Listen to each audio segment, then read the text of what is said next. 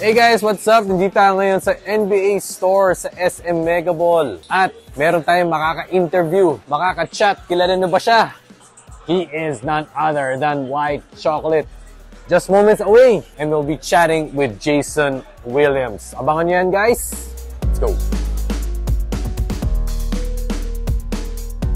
Guys, Jason has arrived in the store. So, first tayo interview natin siya, pero lupit, white chocolate.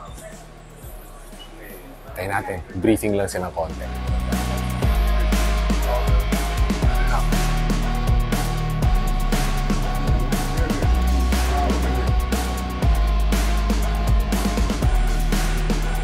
Had a pretty long career for, for someone like myself. You know, I had a, a fun career. I think a successful career. You know, um, uh, I was blessed to have a bunch of good teammates, Hall of Fame coaches. One in particular, uh, Erik Spoelstra, which you guys are uh, familiar with here in the Philippines for sure. Uh, just for the benefit of our audience, when you talk about white chocolate, where did it really originate? Um, it originated in Sacramento. Uh, someone in the PR department there tagged me with the nickname, and here we are today. Here we are today. Yeah.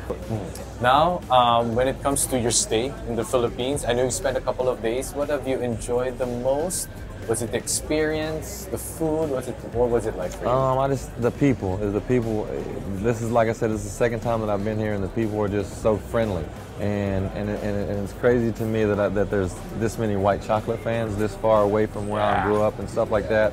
Um, but it's just every time that I get a chance to come here, I'll be here for sure. White chocolate, Jason Williams, right here on ABS-CBN. Jason, thank you so much. Thank you. for joining us here. Appreciate it. Welcome to the Philippines. Thank you. Thank you.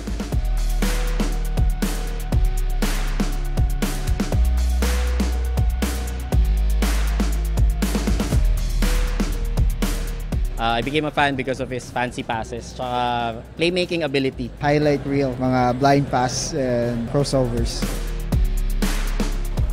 Wow! Solid! Jason Williams, White Chocolate. Ang lupit ng mga sagot niya. Napakabait at love na talaga ang Pilipinas. So sana na-enjoy niyo yung content na ginawa natin. Mix Bustos here for ABS-CBN Sports. Till the next!